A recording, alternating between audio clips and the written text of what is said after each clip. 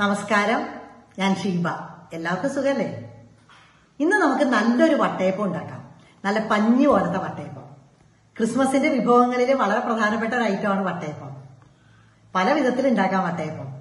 അരി പൊടിച്ചിട്ട് അരി വറുത്ത ആ വറുത്ത അരിപ്പൊടി വെച്ചിട്ട് ഉണ്ടാക്കാം. പിന്നെ അരി അരച്ചിട്ട് ഉണ്ടാക്കാം. അതുപോലെ പച്ചരി അരച്ചിട്ട് ആ ആ മാവിന്ന് കുറച്ചെടുത്ത് കുറുക്കി കപ്പി കാച്ചാന്ന് പറയില്ലേ? അങ്ങനെ ഉണ്ടാക്കാം. അങ്ങനെ പല വിധത്തിലും ഉണ്ടാക്കാം. ഇന്ന് ഞാൻ ഉണ്ടാക്കാൻ പോണത് വളരെ എളുപ്പത്തിൽ ഉണ്ടാക്കാൻ പറ്റുന്നതാണ് എല്ലാം കൂടെ ഒറ്റ അരവേ വേണ്ടു. വളരെ എളുപ്പത്തിൽ ഉണ്ടാക്കാൻ പറ്റും. എന്നാലോ നല്ല രുചിയാണ് താനും.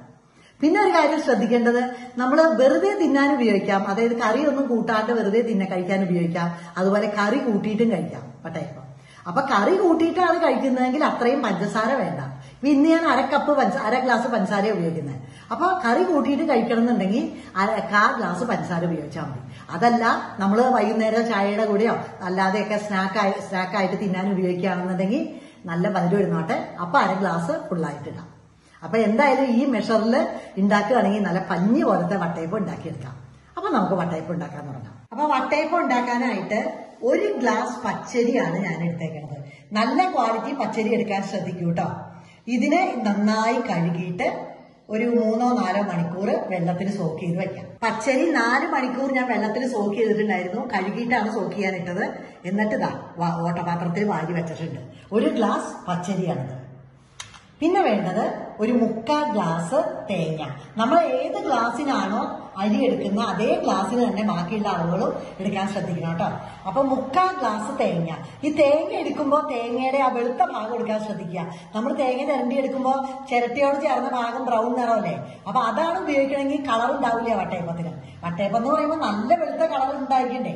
അപ്പൊ അങ്ങനെ അധികം കറുപ്പൊന്നും ഇല്ലാത്ത തേങ്ങ ഒരു മുക്കാൽ ഗ്ലാസ് പിന്നെ വേണ്ടത് ഒരു കാ ഗ്ലാസ് ആണ് ചോറ്. കാ ഗ്ലാസ് ചോറ്. അതായത് തേങ്ങയും ചോറും കൂടെ ഒരു ഗ്ലാസ്സേ വരാൻ പാടുള്ളൂ. പിന്നെ അര ഗ്ലാസ് പഞ്ചസാര. പിന്നെ വേണ്ടത് ദാ ഒരു കാൽ ടീസ്പൂൺ തൊട്ട് അര ടീസ്പൂൺ വരെ ആവാം ഈസ്റ്റ് കേട്ടോ? അത് പൊടി ഈസ്റ്റ് ഇൻസ്റ്റന്റ് ഈസ്റ്റാണ്. പിന്നെ ഒരു അഞ്ചോ ആറോ ഏലക്കായ. അഞ്ചോ ആറോ ആയാലും കുഴപ്പമില്ല. ഇനി ഇനി ചെയ്യണത് ഇതെല്ലാം കൂടി ഇത്രയും സാധനങ്ങൾ ആവശ്യമുള്ളൂ. എല്ലാം കൂടെ മിക്സിയുടെ ജാറിലേക്ക് ഇട്ട് നന്നായി അരച്ചെടുക്കണം. അപ്പൊ അതെല്ലാം മിക്സിയുടെ ജാറിലേക്ക് ഇട്ടിട്ട് ഒറ്റ അരവേ വേണ്ടൂ. പക്ഷെ നന്നായി അരക്കണം എന്ന് മാത്രം. എല്ലാം കൂടെ ഒരു ട്രിപ്പിന് അരയ്ക്കാനുള്ളതേ ഉള്ളൂ. അപ്പൊ ഈ മെത്തേഡിൽ വട്ടയപ്പം ഉണ്ടാക്കുമ്പോൾ ഭയങ്കര എളുപ്പമാണ് കപ്പി കാച്ചാനോ അങ്ങനെയുള്ള പണികളൊന്നും ഇല്ലല്ലോ എല്ലാം കൂടെ ഒറ്റ അരവ്. തേങ്ങ മുക്കാൽ ഗ്ലാസ്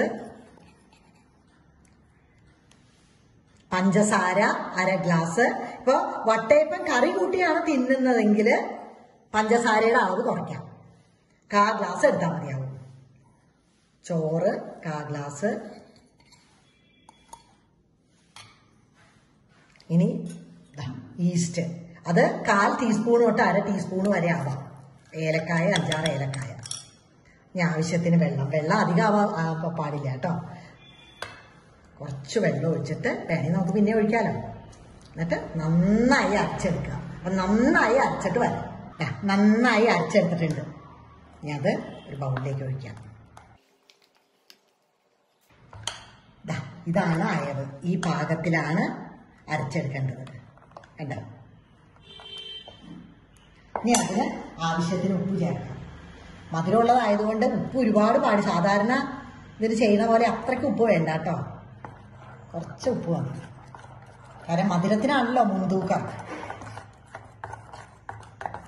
ഇനി ഇത് മാവ് നന്നായി കുളിച്ചു പൊങ്ങാൻ വേണ്ടി നമ്മൾ വെക്കണം. അത് കാലാവസ്ഥ അനുസരിച്ചിരിക്കും. നല്ല ചൂടുള്ള ദിവസമാണെങ്കിൽ മൂന്ന് മണിക്കൂർ ആകുമ്പോഴേക്കും മാവ് അങ്ങോട്ട് പൊങ്ങി വരും.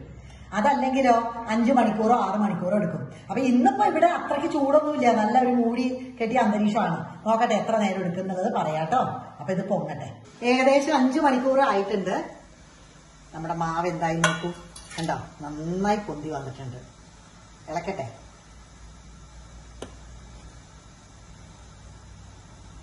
ഇങ്ങനെ ഇളക്കും തോറും അത് അടിയിലേക്ക് പോകും. ഒരുപാട് ഇളക്കരുത്. ഒരുപാട് എന്താ പറയുക ശക്തിയായിട്ടൊന്നും മിക്സ് ചെയ്യരുത്. ചെറുതായിട്ടൊന്ന് ഇങ്ങനെ ഇളക്കുക. അത്രേ ചെയ്യാൻ പാടുള്ളൂ.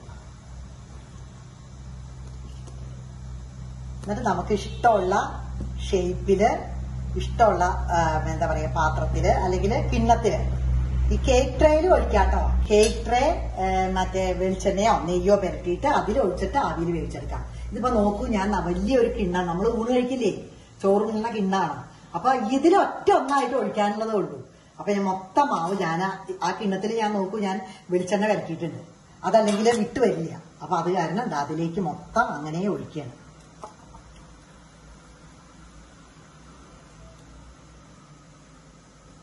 ഫുൾ മാവ് ഞാൻ അതിലൊഴിച്ചു ഒറ്റ വട്ടയപ്പത്തിനുള്ള മാവേ ഉള്ളൂ.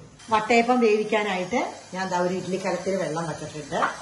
അപ്പൊ ചില്ല് ഇതിന് കമത്തിയിടുകയാണ്. ആ പ്ലേറ്റ് വെക്കണ്ടേ? അപ്പൊ അത് കാരണം കമഴ്ത്തി അമ്മ ഇടുക ഇതിന്റെ ചില്ല്. ഇനി മാവ് വെക്കണം. വെച്ച് അടച്ചു ഇനി ഇന്ന് വേവിക്കും ഒരു പത്ത് മിനിറ്റ് ആയിട്ടുള്ളത് വച്ചിട്ട് ഒന്ന് തുറന്ന് നോക്കട്ടെ കേട്ടോ. ഇപ്പൊ അത് വെന്തിട്ടുണ്ടാവില്ല. ഇപ്പൊ എന്തെങ്കിലും നമ്മൾ നട്ട്സോ അല്ലെങ്കിൽ മറ്റേ ഉണങ്ങിയ മുന്തിരിയോ ചെറിയോ വല്ലതോ ഒക്കെ വെച്ച് അലങ്കരിക്കണം എന്നുണ്ടെങ്കിൽ ഇപ്പൊ പാകമായിരിക്കും.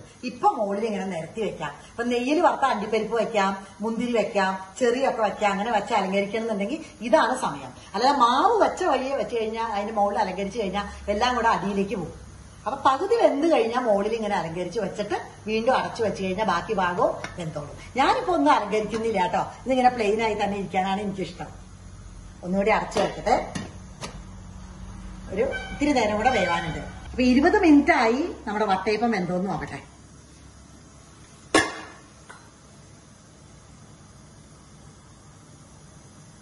ഒന്ന് കുത്തി നോക്കിയിട്ട് ഒന്നുമില്ല കണ്ടോ? അങ്ങനെ ഒന്നുമില്ലെങ്കിൽ അത് എന്തോന്ന് അർത്ഥം. ഓക്കെ അപ്പൊ നമ്മൾ തീ ഓഫ് ആക്കിയിടുന്നു അപ്പൊ നമുക്ക് പെട്ടെന്ന് ചൂടാറി കിട്ടണമെന്നുണ്ടെങ്കിൽ ഇതാണ് ഒരു ടിപ്പ്. ഇങ്ങനെ ഒരു പ്ലേറ്റിൽ വെള്ളം എടുത്തിട്ട് അതിലിറക്കി വെക്കുക. എന്നിട്ട് ഒന്ന് രണ്ട് പ്രാവശ്യം വെള്ളം മാറ്റിയാൽ മതി. പെട്ടെന്ന് ചൂടാവാ വെള്ളം. വീണ്ടും ഒരു അഞ്ചു മിനിറ്റ് കഴിയുമ്പോൾ വെള്ളം മാറ്റി അങ്ങനെ രണ്ടു മൂന്ന് പ്രാവശ്യം ചെയ്ത് കഴിഞ്ഞാൽ പെട്ടെന്ന് അത് ചൂടാറി കിട്ടും. നമ്മുടെ വട്ടയപ്പം അങ്ങനെ ചൂടാറി.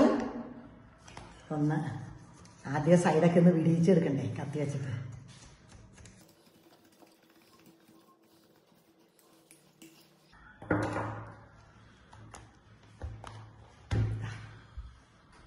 സോഫ്റ്റ് വട്ടയപ്പം. നോക്കൂ. പഞ്ഞി പോലെയുള്ള വട്ടയപ്പം വട്ടയപ്പമാണ് അപ്പൊ അത് കട്ട് ചെയ്ത് നോക്കാം.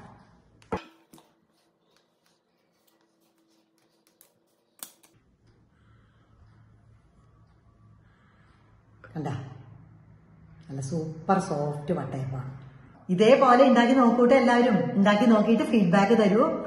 ഇത് വളരെ എളുപ്പം എന്ന് പറഞ്ഞാലും പോരാ അത്ര എളുപ്പമാണ്. കാരണം ഒരു ഗ്ലാസ് പച്ചരിയാണ് നമ്മൾ എടുത്തത് അതുപോലെ അര ഗ്ലാസ് പഞ്ചസാര മുക്കാ ഗ്ലാസ് തേങ്ങ കാ ഗ്ലാസ് ചോറ് ഒരു അഞ്ചാറ് ഏലക്കായ ഒരു കാൽ ടീസ്പൂൺ തൊട്ട് അര ടീസ്പൂണിന്റെ ഉള്ളിൽ ഈസ്റ്റ് ആവശ്യത്തിന് വെള്ളവും ചേർത്ത് അരച്ചെടുക്കുക. എന്നിട്ട് അത് പൊങ്ങാൻ വെച്ച് കഴിഞ്ഞു കഴിഞ്ഞാൽ നല്ല ഭംഗിയായിട്ട് പെട്ടെന്ന് നമുക്ക് രുചികരമായിട്ടുള്ള വട്ടയപ്പം ഉണ്ടാക്കിയെടുക്കാം. അപ്പോൾ വീഡിയോ എല്ലാവർക്കും ഇഷ്ടപ്പെട്ടു എന്ന് വിശ്വസിക്കുന്നു. ഇഷ്ടപ്പെട്ടാൽ നിങ്ങളുടെ ഫ്രണ്ട്സുമായിട്ടൊക്കെ ഷെയർ ചെയ്യുക. നിങ്ങളുടെ വിലയേറിയ അഭിപ്രായങ്ങളും നിർദ്ദേശങ്ങളും ഇമെയിൽ വഴിക്കോ കമന്റ് ബോക്സിലൂടെ അറിയിക്കുക. പുതിയ വീഡിയോ ആയിട്ട് ഉടനെ വരാം. നന്ദി നമസ്കാരം. എല്ലാവരും എപ്പോഴും സന്തോഷമായിരിക്കും കേട്ടോ